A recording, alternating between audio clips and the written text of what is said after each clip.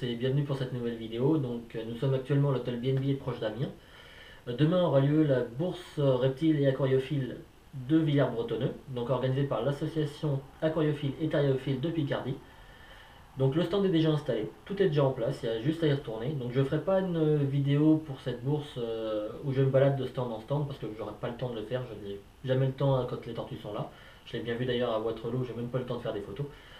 Donc je ferai des vidéos des tortues en bassin seulement. Donc euh, on pourra aller voir si leur réaction par rapport au public, si tout se passe bien ou pas. Et je montrerai donc les meilleures séquences. Je ferai également aussi un, petit point sur les achats que je vais faire, parce que j'ai quelques petits achats à faire demain, donc une petite présentation des produits que je vais acheter. Euh, donc histoire de vous montrer un peu tout ça. Euh, peut-être des surprises aussi, parce qu'on ne sait pas de quoi la journée de demain sera faite. Il se peut que j'achète d'autres trucs ou, ou que j'ai des personnes que je rencontre et qui aimeraient en parler aussi. Donc je ferai ça aussi un petit bilan euh, de cette bourse-là, afin que bah, ça puisse vous donner envie ou pas d'y venir par la suite euh, d'ici les prochaines années. Et euh, dans les bonus, je ferai un petit point aussi sur l'état de santé des trois petites Moremis sinensis, donc que j'ai récupéré en début de semaine. Donc histoire de voir aussi un petit peu tout ça. Donc je vous souhaite déjà une bonne vidéo, puis de regarder donc cette, cette petite partie, puis on se retrouve pour le bilan. A plus tard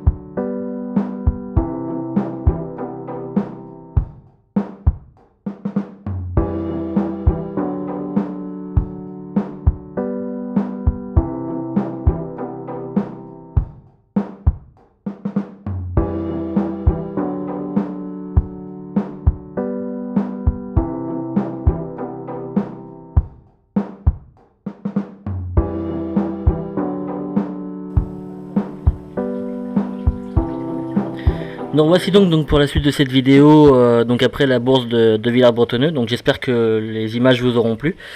Euh, donc euh, tout d'abord pour parler de, cette bourse, c'est une bourse assez conviviale, organisateur vraiment sympa, à l'écoute de, leurs exposants, prêt à les aider aussi, que ce soit en termes de matériel ou même entre exposants, en, termes de matériel à s'en prêter, c'est c'était vraiment sympa. J'ai beaucoup apprécié. Après au niveau public, on a eu des périodes de creux, mais aussi on a eu des périodes où il y avait vraiment beaucoup de monde.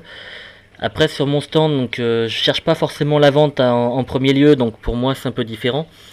Mais c'est vrai qu'en termes de conseils, c'était c'était vraiment sympa et, euh, vraiment j'ai pu aider quand même pas mal de, monde et puis échanger aussi au passage. On a même eu le droit aussi d'être euh, d'avoir une, une petite interview en quelque sorte avec avec un des journalistes donc de du courrier Picardie, du courrier Picard, pardon. Donc c'était vraiment sympa. On a même d'ailleurs la, photo euh, avec chapeau qui, est donc dans, l'article. Donc c'est une première aussi, donc c'est vraiment sympa. Euh, après au niveau des achats euh, lors de la bourse, bah, j'ai fait l'achat d'un tout petit UV mètre, mais vraiment tout, tout petit. Hein. Donc là il affiche l'heure. Hein. Donc il suffit d'appuyer sur, sur UV, puis ça nous affiche l'indice UV. Le capteur se trouve ici. Pas trop cher, très pratique. Donc après, bon, c'est pas non plus du très grand UV mètre, mais ça dépanne quand même pas mal. Donc c'était sur le stand de Caméléon Project. Donc là aussi, j'ai acheté une, petite balance, hein, tout simplement, euh, donc pour pouvoir peser les tortues euh, ou, les autres euh, reptiles. Donc très pratique aussi, une très toute petite hein, qui fonctionne à pile. Donc toujours sur le stand de Caméléon Project. Après, en autre achat, j'ai bah, acheté un petit pochoir à glaçons en silicone, on va dire. Donc voilà, ça me permet de faire des glaçons en forme de tortue. Donc ça c'était sur le, stand de Tortumania. Euh, donc euh, c'est vrai que c'est pratique, ça peut aussi faire des gâteaux. Donc c'est vraiment sympa. Donc j'aurai des petits glaçons en forme de tortue pour le, pour cocktail. Euh, donc voilà, ça c'était pour la, bourse. La prochaine expo où on sera, ce sera au lycée Le Drouet, donc une exposition porte ouverte qui est organisée par les élèves principalement. Donc, donc je serai là-bas avec le même stand et, les mêmes tortues qu'à Villers-Bretonneux. Donc euh, pour le moment, je sais pas si je ferai des ventes ou pas là-bas. Je pense pas parce que sauf le test mix qui je trouve est vraiment important et euh, parce que c'est vraiment de la bonne nourriture pour les tortues terrestres.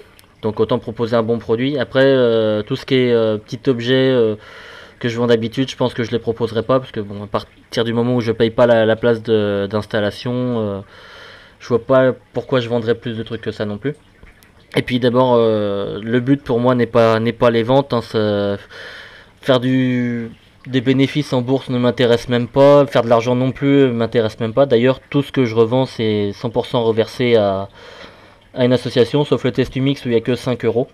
Parce que c'est pas vendu en. Le test Umix, je le vends en fait en, en collaboration avec tortue.com. Donc, euh, donc voilà, donc je dépense plus d'argent que j'en gagne en fait au niveau des expos. Mais ça, ça c'est personnel. Après, euh, au niveau des petites morémises, donc bah, le 19 avril, j'ai eu la mauvaise surprise d'en perdre deux que j'ai retrouvé en, rentrant du bassin qui était au fond du, en rentrant du travail qui était au fond du bassin. Donc bon bah j'ai rien pu faire pour les sauver ni rien, donc euh, je pense qu'elle devait être un petit peu trop faible euh, pour tenter. J'ai tenté quand même de, de, faire quelque chose avec elle. Une avait le poids stable mais était assez vive, l'autre il mangeait toutes les deux. L'autre était assez vive mais avait perdu un gramme donc ça devenait vraiment difficile. Donc, euh, par contre il me reste la petite dernière, donc on voit ici sur la plage. Hein. Hop, vient par la choupette. Donc là la petite dernière, donc a repris encore un gramme. Juste hier soir, donc elle a repris un gramme, elle est assez vive, elle mange bien. Donc euh, donc il n'y a pas pour l'instant de problème. Après, euh, après, à voir sur le long terme, parce que sur le court terme, c'est facile de voir du positif, mais on sait jamais. Voir si ces, carences étaient pas, étaient, ces carences étaient déjà moins graves que les, autres, parce que la carapace est quand même dure, donc c'est un bon point. Donc euh, espérons que j'arrive à sauver celle-là, ce serait, ce serait que du bonheur. Après, euh, au niveau des sauvetages, donc je voulais revenir un peu dessus parce que je ne l'ai pas fait pour la précédente vidéo. Donc euh, il y a différents types de sauvetage.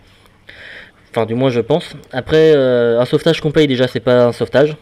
Il faut que ce soit forcément un don de la personne qui veuille vraiment le bien de la tortue.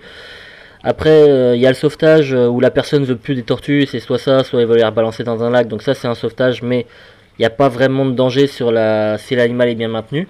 Enfin, si l'animal est bien maintenu, qu'il n'y a pas de carence ni rien. Après, euh, il y a un autre type de sauvetage qui est bah, le sauvetage où l'animal a une mauvaise maintenance mais n'est pas n'est pas trop carencé voire pas du tout. Et, et là c'est il y a juste à le remettre dans le droit chemin avec juste de bonnes installations et ça suffit. Et il y a le sauvetage donc le plus délicat celui auquel j'ai eu affaire. Donc où là les tortues sont vraiment en, danger imminent en fait. Et donc carence et là il faut booster un peu faut essayer de les remettre dans, dans, le droit chemin et très très vite. Et bon après ça marche pas forcément toujours comme j'ai pu le constater. euh, donc euh, ça c'est vraiment les sauvetages les, les plus difficiles à réaliser. Mais après, bon, quand la tortue s'en sort, c'est, on est vraiment content, quoi. Donc là, j'espère que bah, la petite dernière va s'en sortir. D'ailleurs, euh, maintenant, bah, je leur avais trouvé des noms, malheureusement, bah, juste avant de rentrer à la maison le, fameux soir. Donc, j'ai trouvé des noms chinois. Donc celle-là, la petite dernière, s'appelle donc Chi, qui veut dire force en chinois. Donc ce sera son, petit nom afin que les, nouveaux propriétaires qui la reprendront par la suite à la fin de, à la fin donc de la quarantaine et du fait qu'elle aille mieux, ils pourront soit garder ce nom, soit lui en donner un autre. Voilà, donc ça c'était pour les sauvetages. Après donc euh, bah, je reviens aussi un petit peu sur la bourse euh, de Villars-Bretonneux parce que j'ai fait quelques petits achats aussi en plus. Mais je peux pas vous les montrer tout de suite parce que c'est l'objet d'une euh, prochaine vidéo à, venir. Donc le tournage aura lieu certainement dimanche. Et donc la mise, la mise au montage aura lieu bah, dans la foulée. Donc euh, certainement la semaine prochaine, vous l'aurez sur YouTube. Donc je peux pas vous dire exactement le sujet ni ce que j'ai acheté à, la bourse qui pourrait donc euh, bah, ça vous mettrait trop sur la voie en fait. Mais c'est une vidéo que j'ai pas encore euh, enfin c'est un thème de vidéo que j'ai pas encore vu sur YouTube ou j'ai peut-être pas assez cherché, je sais pas. En tout cas, j'ai pas j'ai pas de souvenir de l'avoir vu et je pense que ça peut être ça peut être pas trop mal. Donc vous découvrirez ça la semaine prochaine. Voilà, donc bah voici la fin de cette vidéo, donc bah, je vous souhaite une bonne fin de journée, et puis bah à la prochaine